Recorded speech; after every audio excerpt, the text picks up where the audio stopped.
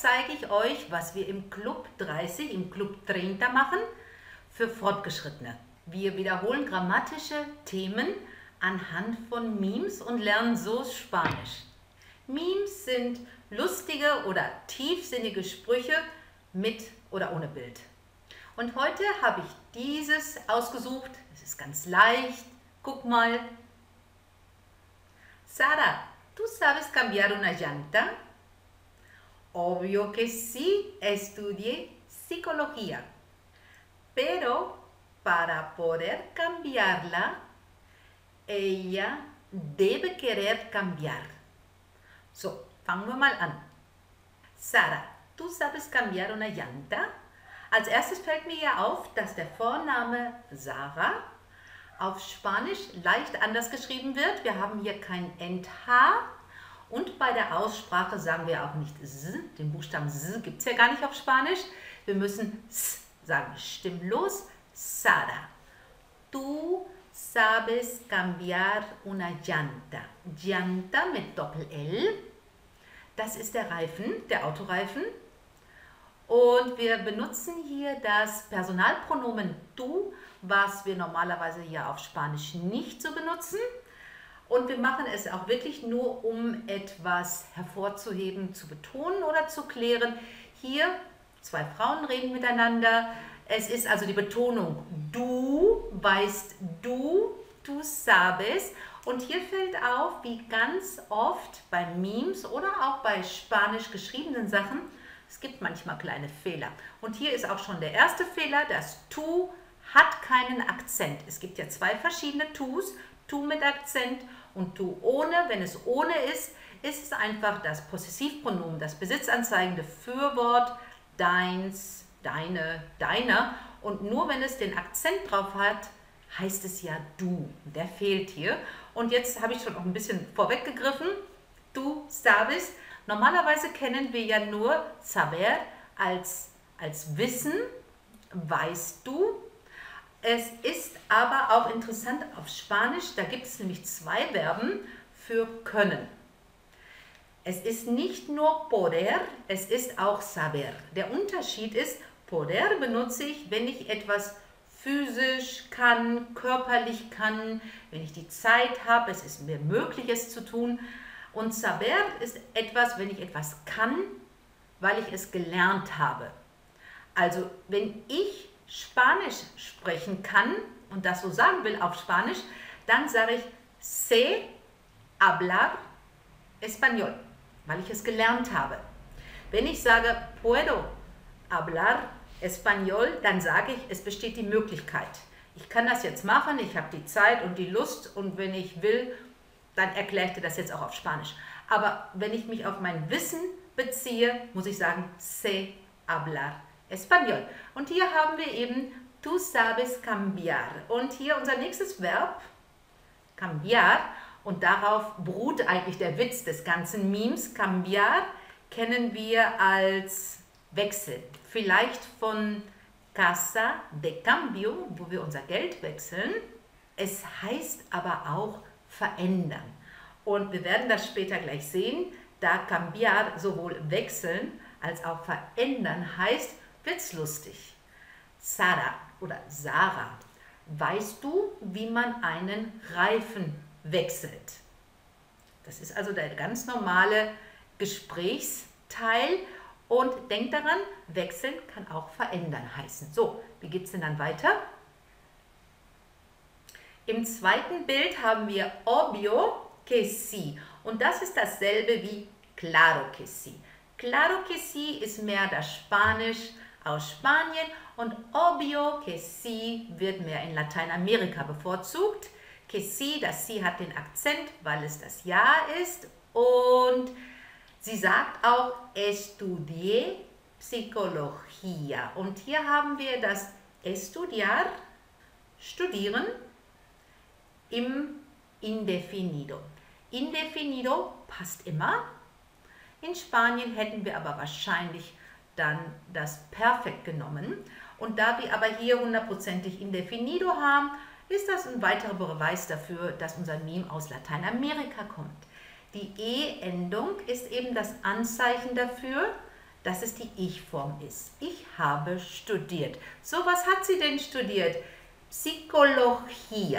Guck mal, bei meiner Aussprache, für uns ist es ja ganz einfach zu sagen PS. Ps.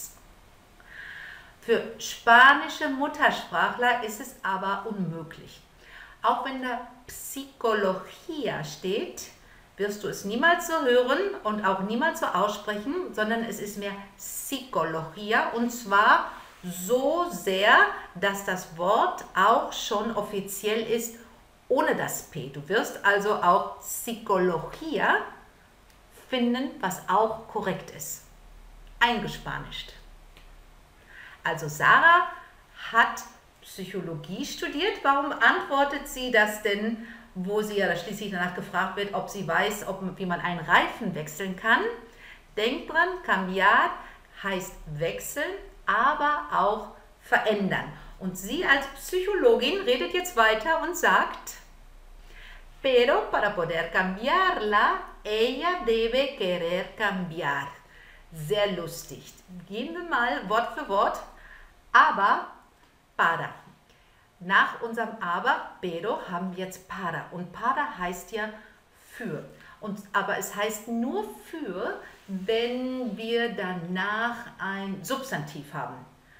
Für Anna, für Montag, für ihn, für mich, ein Mensch oder eine Sache oder ein Zeitpunkt, dann heißt es für. Aber hier haben wir nach unserem para haben wir ein Verb. Und dann übersetzen wir para mit um und haben dann aber um und danach haben wir poder, können. Aber um können, naja, wir schieben auf Deutsch das zu ein, aber um zu können, was denn? Was denn können? Cambiarla. Was ist denn cambiarla? Cambiarla ist ein zusammengesetztes Wort. Wir haben hier zwei Wörter. Guck mal, wir haben hier den Infinitiv cambiar und da dran haben wir ein la. Das darf man so machen. Das ist aber eine gewisse Schwierigkeit für uns zu erkennen, dass hier wirklich zwei Wörter verschmolzen sind. Wechseln und verändern war ja unser cambiar. La ist sie, ist unser Objekt. Aber um wechseln oder verändern zu können, wir reden ja vom Reifenwechsel, aber unsere Psychologin redet nicht mehr vom Wechsel, sondern von Veränderung. Aber um sie, auf wen beziehe ich mich denn? Wer ist denn unser La?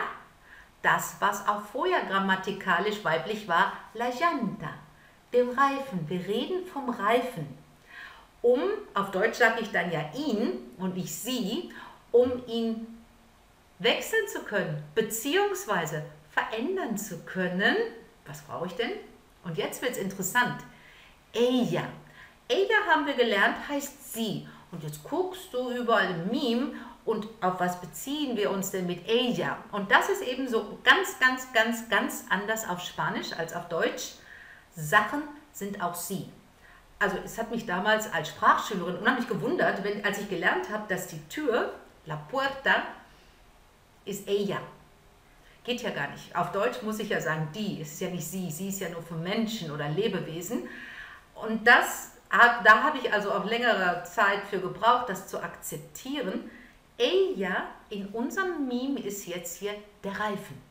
Nicht nur, dass wir auf, auf Deutsch ein der haben und auf Spanisch ist es ein die, es ist sogar ella. Unser Reifen ist ella, sie. Sie debe. Debe ist sollen. Vorsicht hier mit unserem Verb sollen. Auf Deutsch benutzen wir es ja ganz oft. Soll ich dir helfen? Soll ich schon mal gehen? Das wird auf Spanisch eben nicht so gemacht. Es ist, wird ganz selten benutzt und ist dann auch ernster. Deber, wie merke ich mir das, dass es sollen heißt oder schulden? Ich habe mir das mit dem Wort Debitkarte, der Bankkarte gemerkt. Das ist ja auch so, wo man etwas ein bisschen schuldet. Also Deber heißt sollen, schulden, aber auch müssen. Mal gucken, was hier passt. Sagen wir mal müssen. Sie muss querer, wollen, sie muss wollen, cambiar. wechseln, verändern. Sie muss sich verändern wollen. Unser Reifen muss sich verändern wollen, bevor ich ihn wechseln kann. Es ist also ein Wortspiel, Wechsel, Veränderung. Deswegen unsere Psychologin hier, Sarah. Ich hoffe, es hat euch gut gefallen. Es macht mir persönlich sehr viel Spaß, so Grammatik zu erklären, ein bisschen Wortschatz, neue Ausdrücke. Und das machen wir tagtäglich in unserem Club 30, in unserem Club 30. Wir sind eine private Gruppe und sehen uns tagtäglich. Und heute wollte ich euch zeigen, was wir so machen. Ich hoffe, es hat euch gefallen. Bis zum nächsten Mal. Hasta luego.